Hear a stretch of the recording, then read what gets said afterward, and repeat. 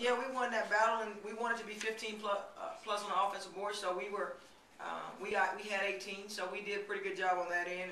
Uh, they only had nine, that's, boy, that's a big improvement for us. You know, last couple of games, we've given up 18, 31, um, seventeen.